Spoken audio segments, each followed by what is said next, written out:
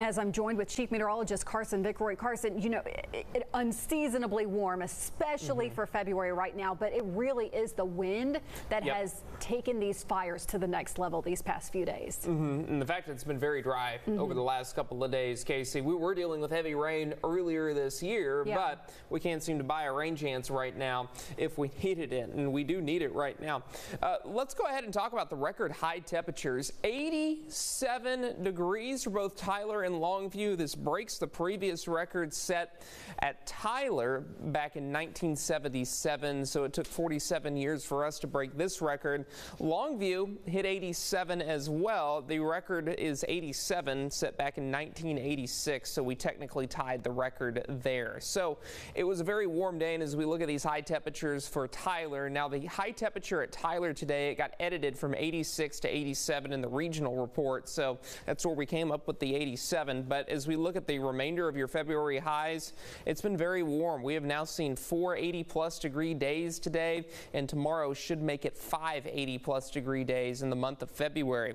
And as Casey was talking about, fire danger, it is on the higher side right now because these winds have been strong. You combine dry conditions with very warm temperatures and strong winds, you will tend to get a high fire danger, and that's exactly what we have. 10 to 15 mile per hour winds right now, and that's going to be the case for tonight tonight.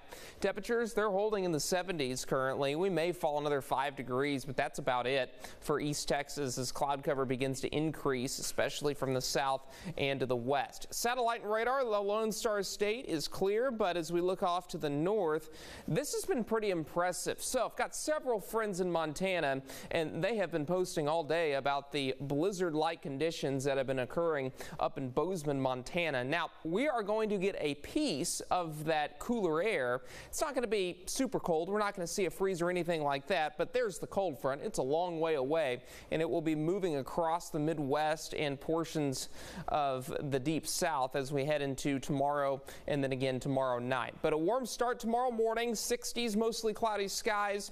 No concerns for your outdoor plans tomorrow. We should be all right. 5 o'clock tomorrow evening, temperatures will be in the 80s. And in the front, it comes roaring in like a lion Wednesday morning. That moves through. We still have some cloud cover Wednesday and Wednesday morning, but temperatures, they're going to be stuck in the 50s for most of the day.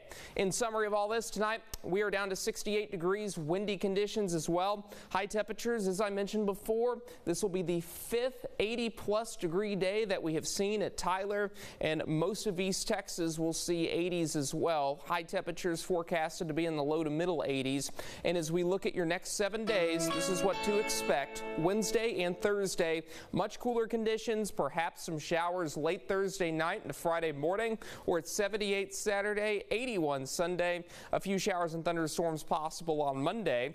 Deep East Texas, similar deal, 84 for your Tuesday. Windy both Tuesday and Wednesday. The only difference will be those winds will be out of the north on Wednesday, dropping our temperatures from the 60s into the 40s Thursday morning, 58 Thursday afternoon. Then we begin another warming trend through the end of the weekend. Casey? All right, Carson, thank you.